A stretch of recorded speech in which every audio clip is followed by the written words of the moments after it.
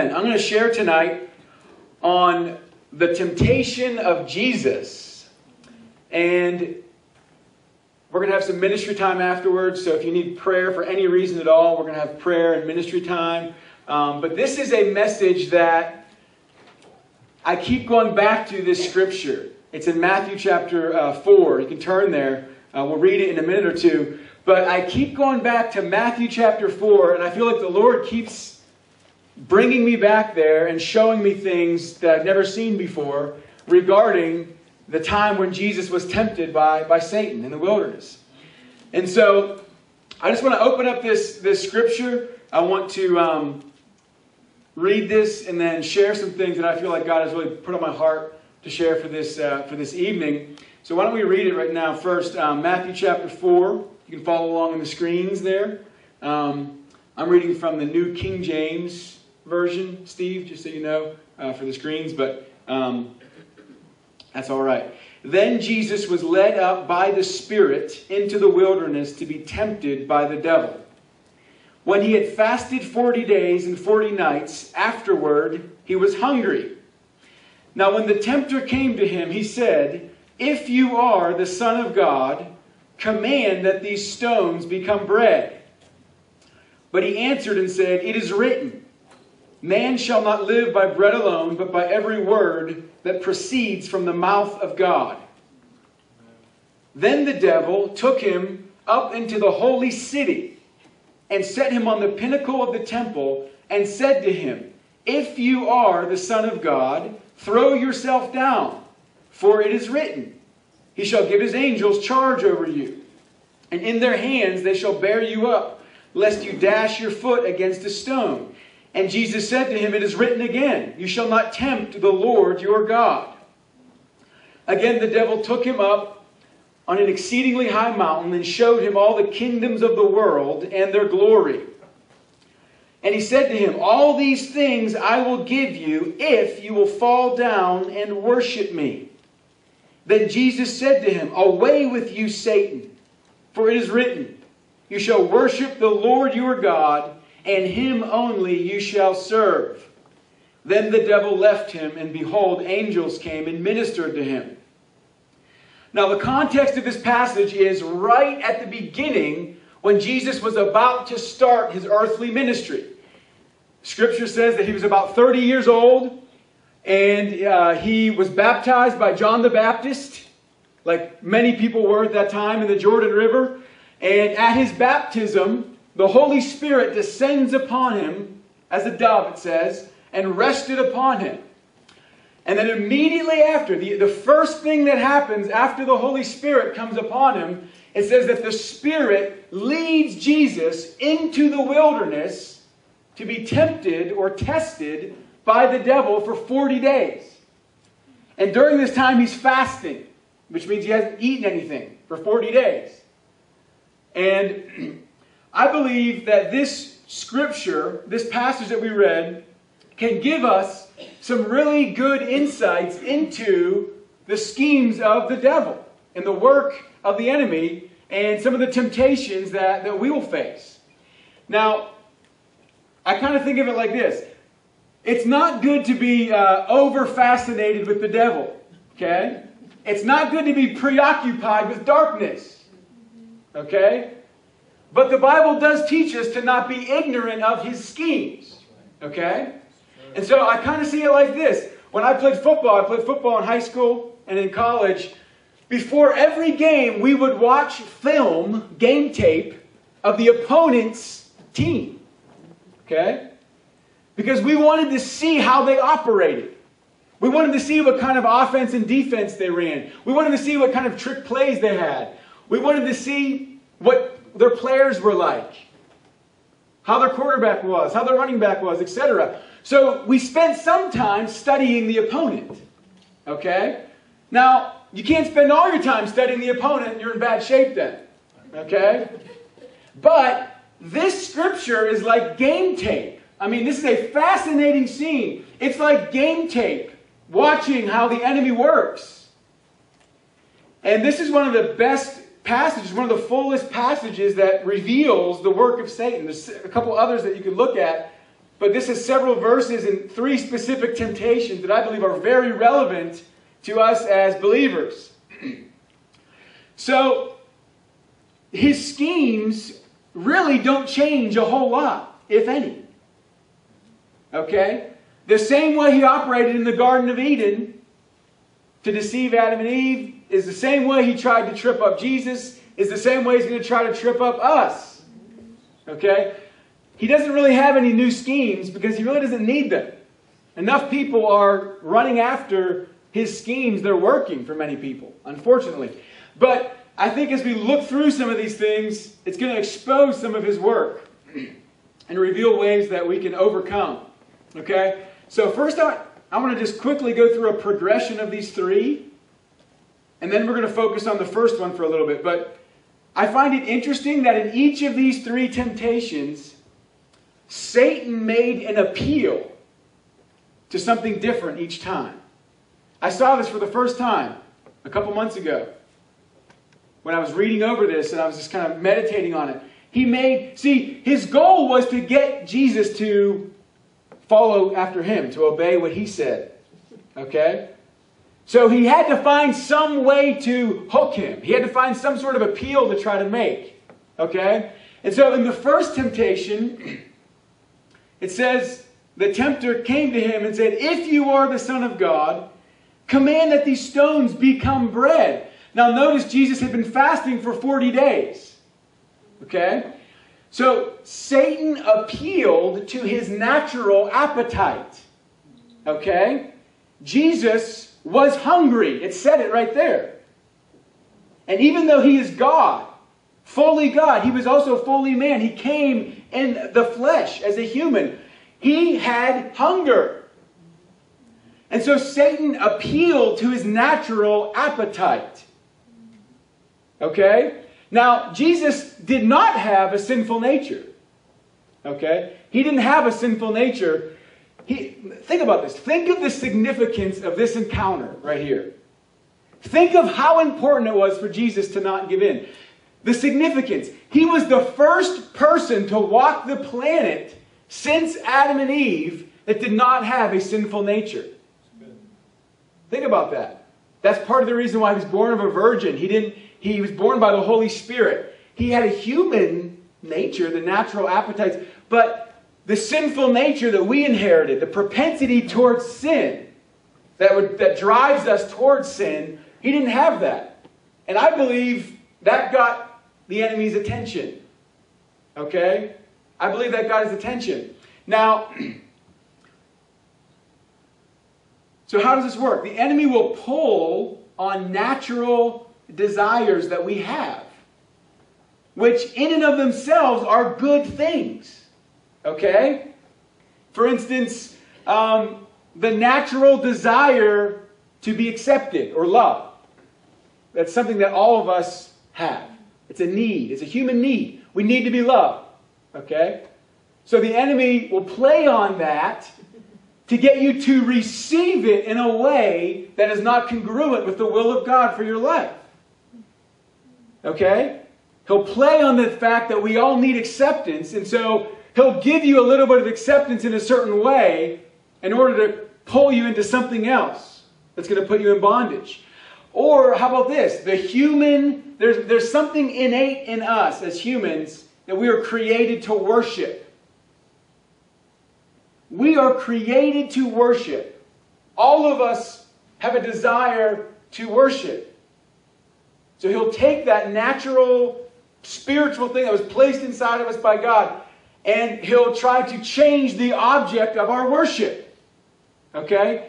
So he'll try to play on those natural desires, appetites, even could be food, okay? It could be uh, the natural sexual drive that is in all of us, okay? Try to cha- try to try to turn it into something that's outside of God's ways. All right? And then he also, with us, you know, we still do battle the sinful nature. Galatians 5, the fruit of the Spirit versus the works of the flesh.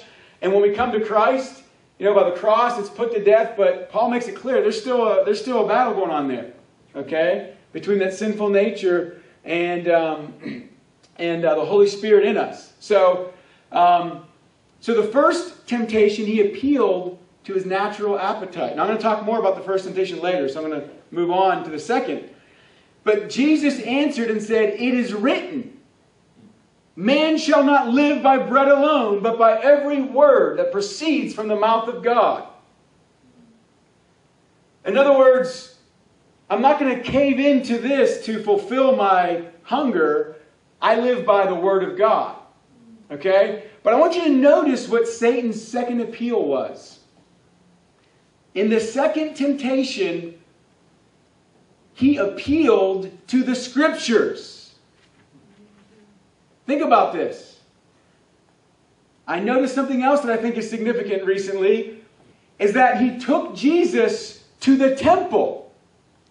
Did you catch that?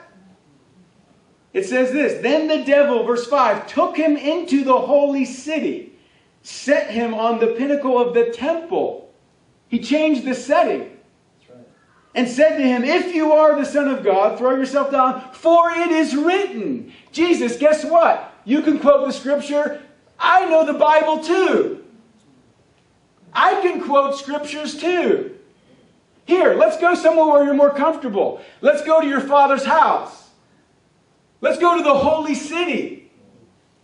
You see, Jesus was able to recognize the devil in various settings. Later on in his ministry, he had to recognize when the enemy was trying to get to him. One time, he came through one of his best disciples named Peter. when Jesus was talking about how, he was going to have to go to the cross and suffer these things. And Peter said, No, Lord, that, that should never be. And Jesus said, Get behind me, Satan. You don't have in mind the things of God, but the things of men. You see, he was able to recognize the enemy in different forms, in different settings. So listen, now he's at the temple in a religious setting, in a church setting.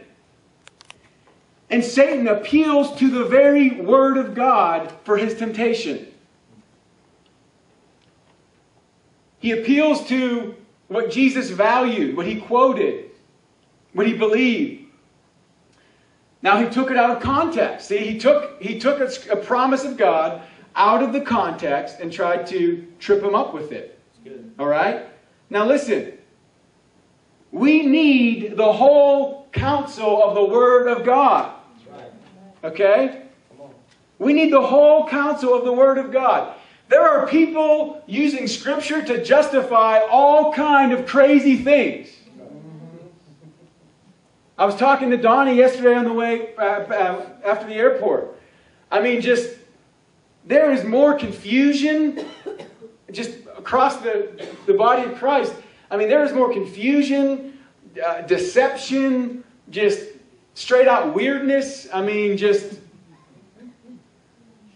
there's this a lot of stuff. We, let's let's put the, we live in interesting times. Okay, let's say that. Okay, but you can you can find a scripture to justify just about anything. Okay, I mean people people use scripture to justify sin. I think I think some people think the only thing Jesus ever said is "Do not judge." Seriously. I think some people think that's the only thing he ever said. And so they say that, well, well, let's not talk about sin. He said, do not judge. Or, okay? In the same sermon, he said, do not judge. He said, if your right eye causes you to sin, pluck it out. so don't tell me he's not serious about sin. All right? People use scripture to justify uh, greed all the time. Hey, give into my offering. God wants to give you a car. For it is written. Okay? Sowing and reaping, and, and I believe in sowing and reaping, and the verse that Pastor Glenn quoted give and it shall be given. But that scripture can be used to manipulate and play on people's greed, and it happens all the time.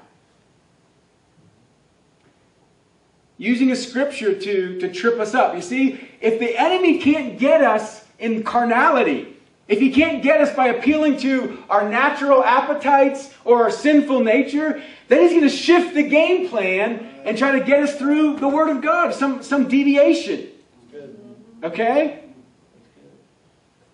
Some things I've even heard recently. I, I saw somebody trying to say, um, using a scripture, saying that the fear of the Lord is an Old Testament concept that doesn't apply to the New Testament. Okay? And quoting a scripture. And I'm thinking to myself, okay, off the top of my head right now, I can think of three scriptures in the New Testament that command us to fear God. I can think of three right now that are in my mind.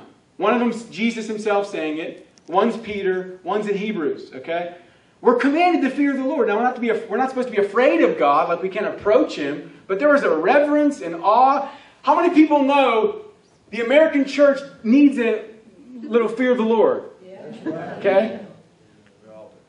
We all do. That's right. We all do. Okay? But people, you know, use scripture to try to, you know, because it just doesn't sound nice or something. I don't know. I don't know why we feel the need to do that. But um, something else I saw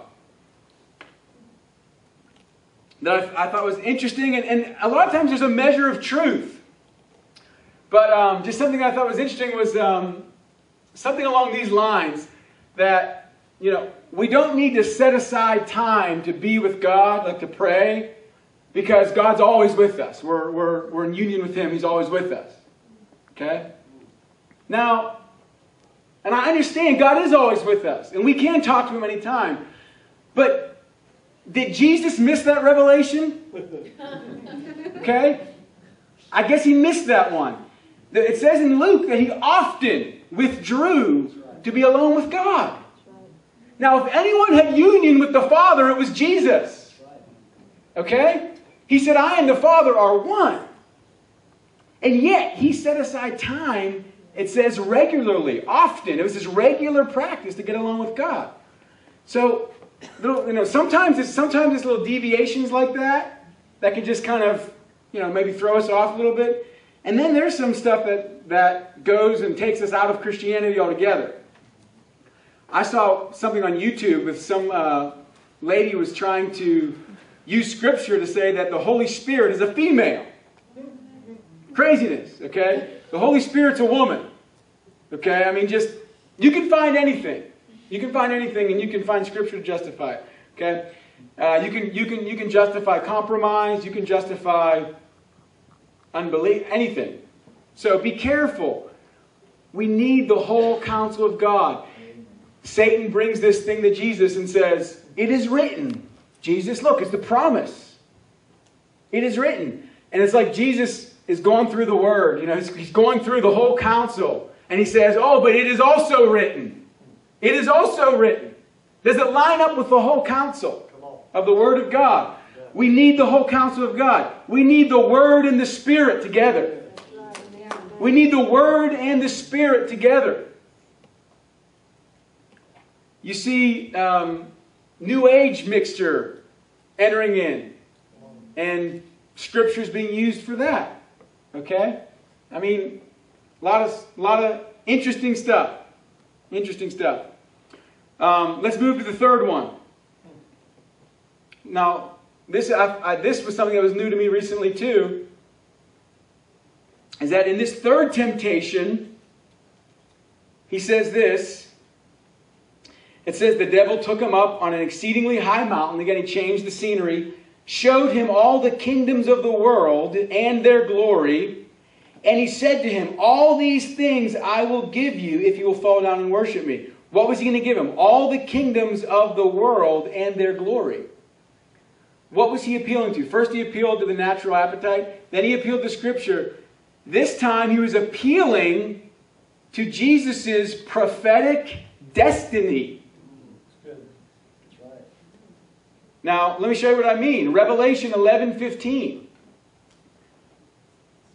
Revelation 11 15. The kingdoms of this world have become the kingdoms of our Lord and of his Christ, and he shall reign forever and ever. What did Satan offer him? The kingdoms of this world. What is, what, what, what's, what's the destiny of Jesus? The kingdoms of this world have become the kingdoms of our Lord and of his Christ. He offered him the very thing that Jesus was destined for. He offered him a shortcut to his destiny.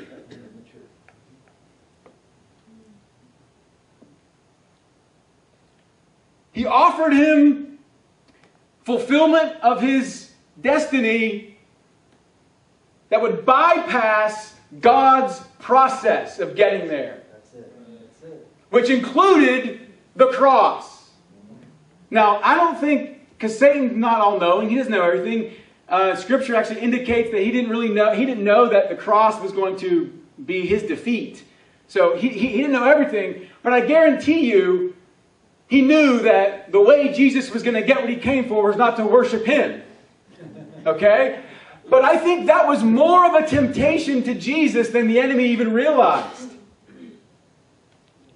Because it was offering him what he came for without having to go to the cross.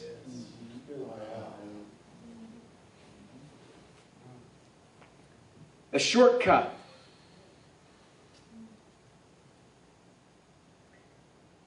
It's not just about doing what you're called to do. Listen, it's not just about doing what you're called to do, but doing what you're called to do in His way. Okay? It's not just about what you're called to do, it's also about why. Why do you want to do it? And how? God has ways. God has a process. God has dealings. Okay? And the enemy will tempt us to bypass those dealings. He'll tempt us to bypass the cross that we're to carry. Okay? Now, let me give you two examples from Scripture. One person who passed this test with flying colors, and one who messed it up a little bit. One is David. Okay? David passed this test. Okay? Listen, he got a prophetic word from Samuel the prophet saying he would be the next king of Israel. So that was his destiny. He, Samuel called him out of all his brothers. He was the youngest. Samuel called him from the sheepfold, anointed him with oil, and said, You are the next king of Israel. The Holy Spirit began to come upon him and departed from Saul, who was the current king. Okay? But David did not become king overnight. There was years between receiving that word and the fulfillment of it. How many know he had an opportunity to shorten the process? Saul was chasing, listen, Saul was trying to kill David was chasing him down, throwing spears at him. David's running in the caves. And one time, this happened, actually happened twice, but one time, all of a sudden, David has an opportunity to kill Saul. And his friends even said, The Lord has delivered him into your hands. Look, David, this is your chance. Let's stop all this nonsense. You're supposed to be the king. Remember, you're the king. You're, you're called to be the king. You're anointed to be the king. Saul's days are over. And he was right there with an opportunity to end this madness and this running and this process of being crushed. And he said, I will not lift my hand to strike God's chosen anointed ones. He passed that test. He didn't take a shortcut on the road to fulfilling his destiny. He didn't use his prophetic word in a way that was outside of God's ways or his process. You see, we can use a prophetic word to justify, again, just like we can use scripture, we can use a prophetic word to justify things. Well, this is what I'm called to. So it doesn't matter if I run somebody over on the way or if I go about it this way or that way. Because the end justifies the means. And one of the biggest traps of the enemy is to try to get us to pursue a legitimate end by an illegitimate means. And that's what he that's what Satan tempted him with. He offered a legitimate end. The very thing that was promised to Jesus. Legitimate end. But it was an illegitimate way to get there. Okay? I'm telling you. People want uh, salvation without repentance. They want uh, healing without the cross, peace without righteousness. There is no peace for the wicked, the Lord said. Peace with God without actually the righteousness of Christ. See, legitimate end, good things, but taken a wrong way to get there. All right? Now, so, so David passed that test. Now, here's somebody who stumbled on this one Abraham. He stumbled on it. He had a word from God. He had a prophetic destiny. You're going to be a father of many nations. And his wife was barren. Sarah couldn't have children. They were old. They were past the years of being able to have children. And so what did they do? They, they, they decided to do it in a way that was not God's way. Sarah said, Well, I'm too old, so if we're going to fulfill this word, we got to figure out some way to do it. Here, take Hagar, my maid, sir, my maid, or whatever, right? And so they had a child through Hagar named Ishmael. But it wasn't God's way. They wanted to fulfill God's word, but not his way. God has ways, the ways of God. And we need to submit to his process, we need to submit to his ways. There's no shortcuts. Listen, the only one offering you a shortcut is the devil, okay? God doesn't offer shortcuts, and He can accelerate things. Don't get me wrong. And each person's destiny is going to be different. It's not always. It's not going to look the same for everybody. But there are general principles that apply in, in the fulfilling of our calling.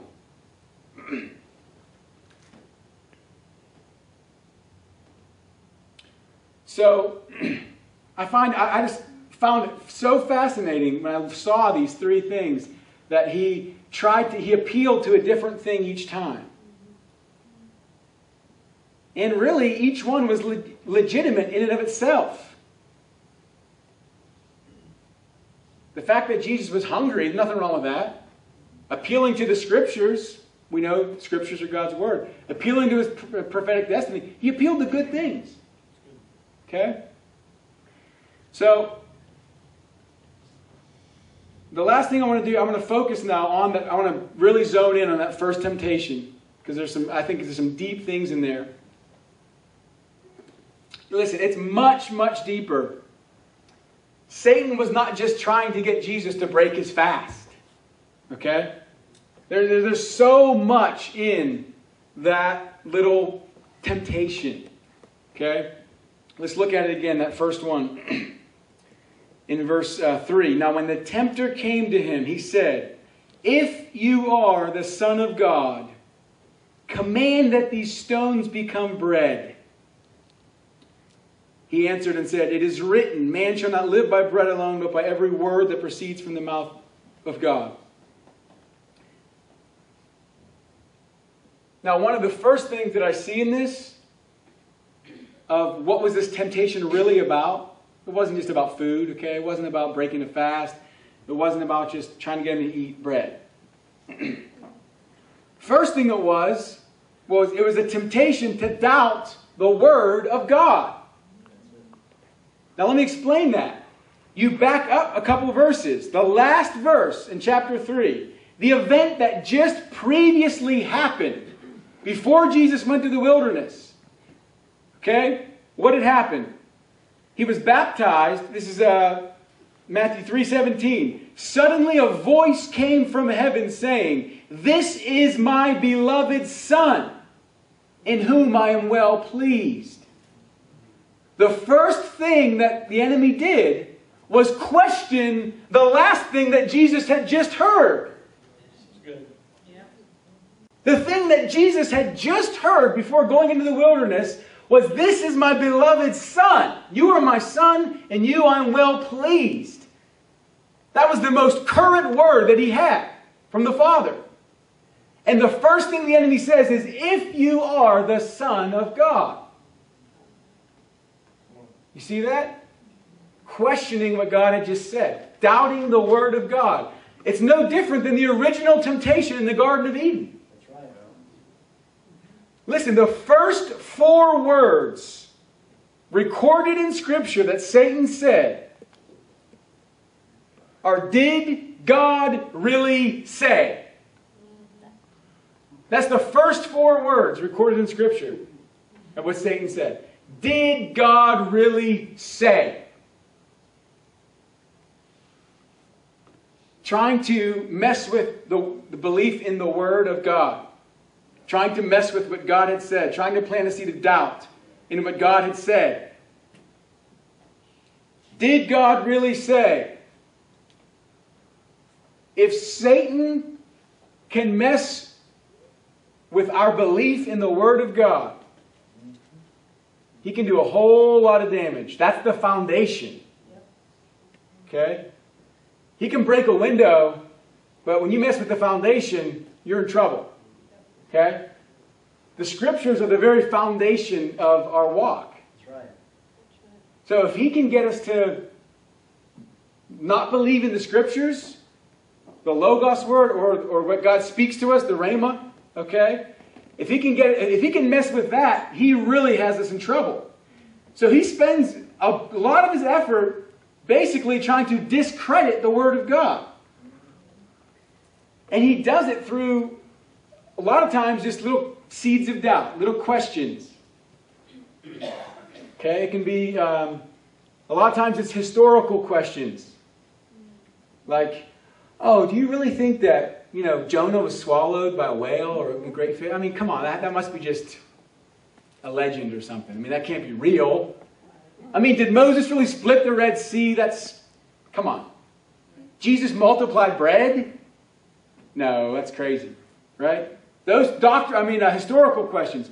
Then there's doctrinal questions. How can you say that Jesus is the only way to God? I mean, if God is love, then why would he set it up that way? What about all these other people that don't believe in Jesus or, or who live in a different country, etc.? Doctrinal questions. Or how, why would a loving God create a hell? Theological, doctrinal type questions. And then the third one is moral questions. I mean, come on, can it really be wrong for two people who really love each other to sleep together even if they're not married? I mean, can that really be wrong? I mean, come on, what's wrong with that? Do you know, I found this out recently, I read it in an article. That was the very thing that took Katy Perry onto the wrong path. You know that? The famous singer. I couldn't sing one of her songs, but I know she's well known. Okay, she's she is, uh, she is uh, the daughter of a pastor um, and very worldly um, and sensual in her, in her style and everything. That was the very thing that got her off the path. Was that, well, if I love this guy, then how could it be wrong for me to sleep with him? That was the step that she took that has uh, moved her so far right now. moral questions. These are huge today. Chick fil A, anybody? Chick fil A just says that they, you know, they stand for traditional marriage and there's an outcry and, you know, all this kind of stuff. I mean, these are big questions that people have. Okay? But at the root of these questions, whether it's the historical, doctrinal, moral, at the root of it, though, is an attack on the scriptures.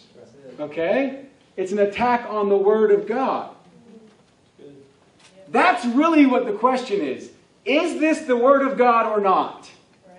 Okay? Because if it is, then Jonah was swallowed by a great fish. Okay?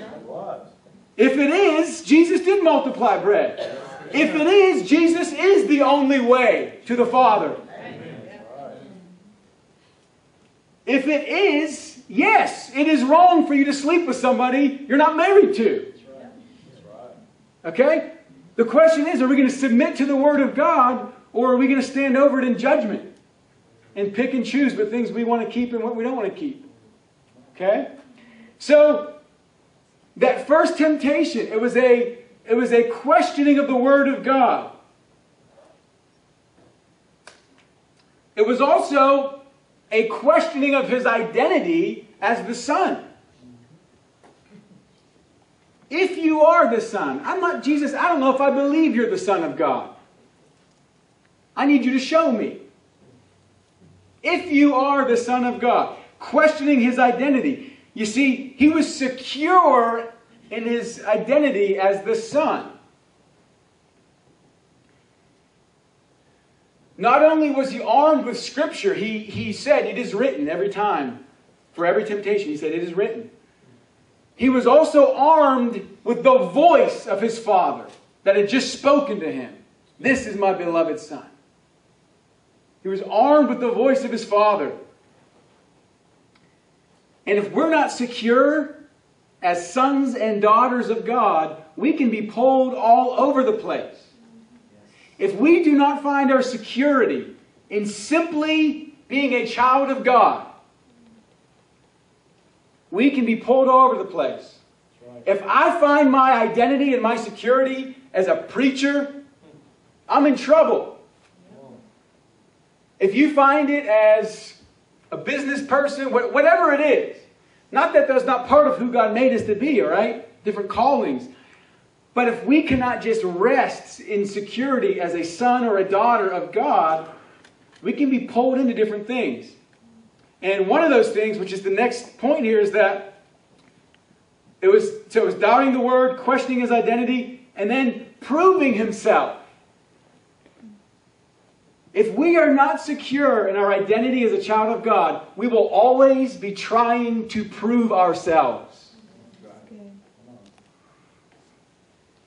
We'll always be trying to convince other people that we really are special or we really are gifted or spiritual or that we really know the Bible or whatever it is. If we're not secure in our identity as a child of God, insecurity breeds a performance mentality. Insecurity in who we are in the Lord breeds a performance mentality. That's part of what this temptation was. Jesus, perform something. And he faced this temptation several times in his ministry. Jesus, show us a sign. If you're, if you're the Christ, show us a sign. See, it was the same temptation. Herod, he stood before Herod. Herod wanted to see him do some sort of a sign. Or, but guess what? Jesus never, with all the miracles he did, all the healings, raising people from the dead, casting out demons, miracle, all these things, but he never did one except at the prompting of his Father. He did not respond to the devil, react to him, and he did not respond to man saying, Show me a sign.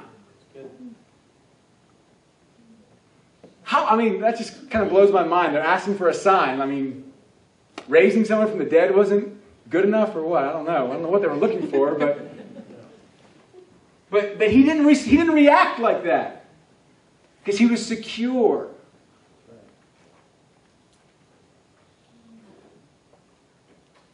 And if we're not secure, we'll be trying to prove, you know, prove we're, we're spiritual. Prove that we can hear God's voice. Prove that we're anointed.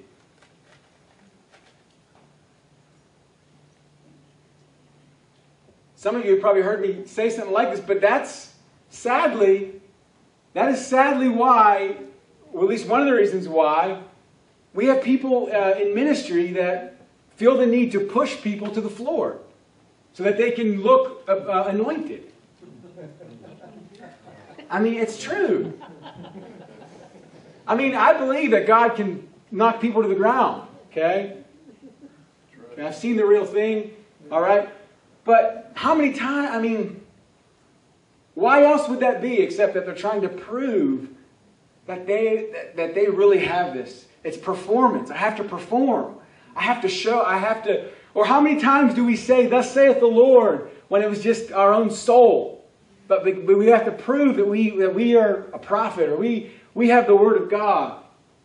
Instead of just resting. Sometimes the most spiritual thing we can do is just zip our lips and say nothing. I mean, sometimes that's the most anointed thing we can do. Is just not say a word. Okay? But when there's insecurity, then there's that I got to prove myself. I got to show people. And then the next one, this is the last uh, one of these areas before I bring it to a close in a few minutes. Um, it's to misuse the power of God. Okay? It was to misuse the power of God. Jesus, turn this stone into a bread. Oh, so you were anointed with the Holy Spirit. Okay. Show me. Turn this and mis it's to misuse God's power that Jesus had just been anointed with. It was to use power without authority. In other words, to use the power of God in a way that was not authorized by God. Power without authority is dangerous. Okay? Use the power of God for his own, to fulfill his own uh, gratification.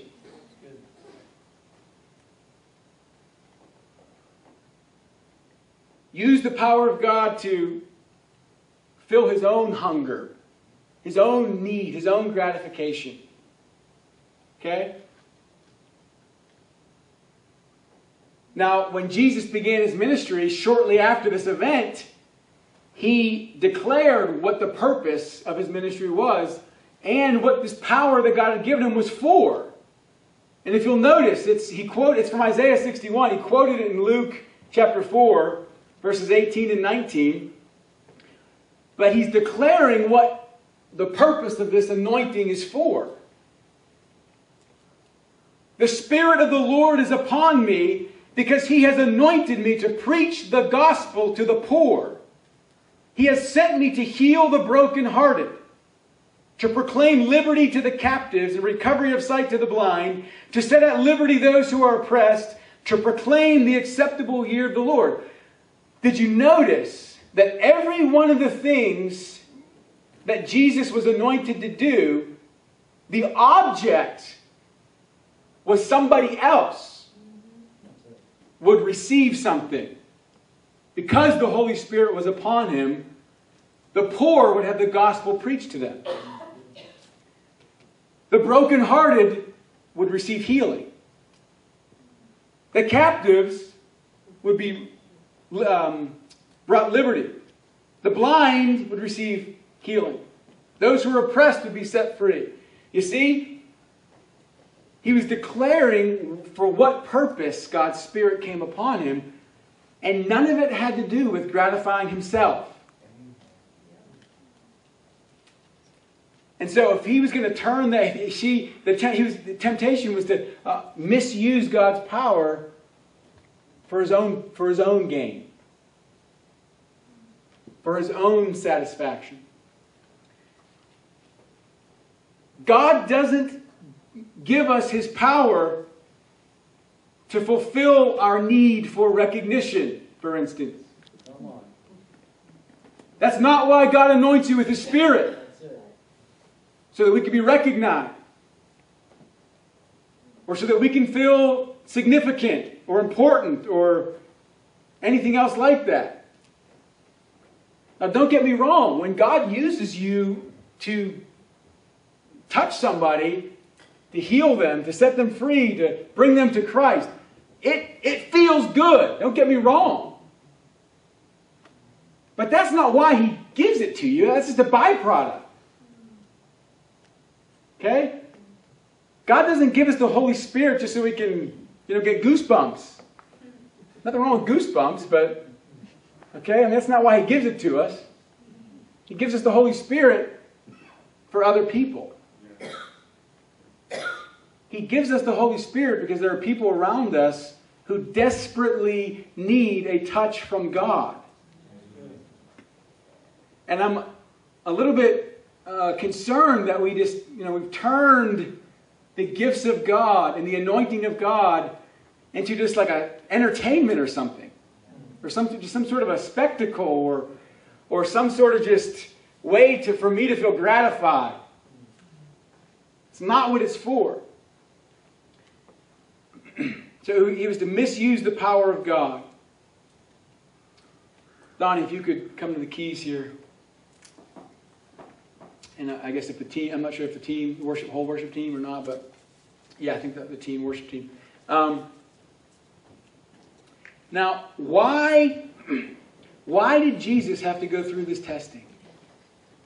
Why did he have to go through all this, all these 40 days plus, you know, throughout his whole ministry, the enemy was still trying to, to get to him. Why did he have to go through all this? Why do we have to go through testing and temptation and trials, etc. Why? Look at Matthew chapter 27. This is the last scripture we'll look at. Matthew 27. I find this very interesting. Verse uh, 39 and 40. Now, now Jesus is on the cross in this scripture. Notice, notice what uh, happens in the scripture. Those who passed by blasphemed him, wagging their heads and saying, You who destroy the temple and build it in three days, save yourself. Now listen, if you are the Son of God, come down from the cross. Does that sound familiar?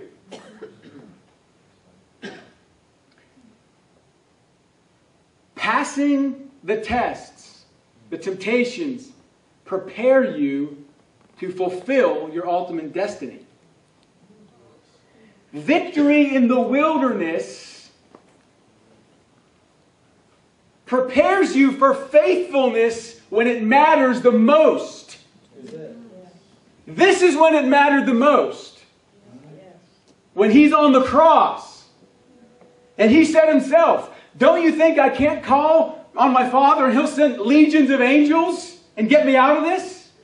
In other words, I have a choice. I can choose to get out of this if I want to.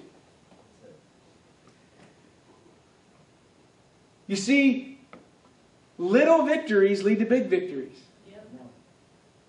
Little compromises lead to big compromises. I mean, it's one thing to turn a stone into bread, okay? It's another thing to get off the cross. But it was the same temptation. But because he had already faced it and overcame it, he recognized it. Oh, I, I recognize that voice. I've heard this before. I've been here before. That's why, at least one of the reasons why, we go through temptations, the period of testing, the trials, various forms because if we can get victory when nobody's watching, you see, nobody was watching Jesus in the wilderness. If we can get victory when nobody's watching, though, we can have victory in other settings when people are watching. If we compromise when nobody's watching, we'll most likely compromise in bigger settings as well. Okay?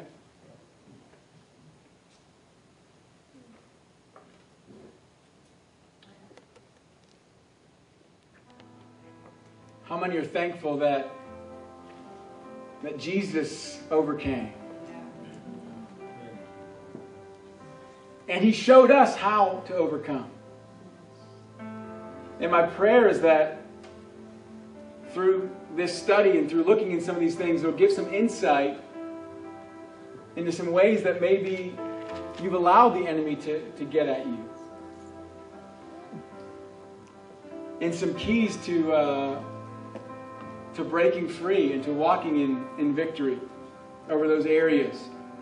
And again, did you notice he quoted the scripture every time? It is written. You can't quote something you don't know. Okay? You got to know the word. It's a big part of it. And trust in the power of the Holy Spirit. Let's stand to our feet. We're going to enter into a time of um, worship and ministry, prayer ministry. Before we, uh, before I open the altar for, for ministry, I, I, want us to sing through this song. You, just, if you just kind of sing through the song, um, and just for us to enter in again to God's presence and worship, uh, and declare the power of the name of Jesus. God, we thank you. We thank you, God, for your word. We thank you for the whole counsel of your word, God, the solid foundation. We thank you, Jesus, that you overcame and that we will overcome by the blood of the Lamb and the word of our testimony, loving not our lives to the death. God, I ask for grace. I ask for grace to be released, God. I ask for your love to be released, for your power to be released right now. God, I ask for you to expose any ways, God, that we are falling prey to these areas. Lord, any way that we're allowing the enemy to prey on our, our natural appetites or our sinful natures, any way that we're even allowing the enemy to, to trip us up by taking scriptures out of their context. God, any way that we're using um, prophetic words we've received, our, our destiny, our calling, but Lord, we haven't submitted it to you. We haven't, we haven't submitted to your ways. We haven't submitted to your process. And we say, God, forgive us. We want to submit to your process. We want to submit to your ways. You are good. You know all things. You are so good. God, I thank you that Satan is defeated. I thank you that the enemy is defeated by the cross, by the resurrection. Jesus, all authority is given unto you. You are seated at the right hand of God. All authority is given to you. And I pray right now a release of your authority in this place. I pray right now a release of the kingdom of God among us right now. God, I, I right, right now I ask for a release of your light to shine, driving away darkness a release of the power of your Holy Spirit. God, breathe upon your word right now. And so, Father, as we come into this time, as we worship you, as we wait upon you, as we pray and minister, I thank you for confirming your word with power and signs. I thank you for healing, for delivering. I thank you for setting captives free, Lord. We commit this to you. In Jesus' name.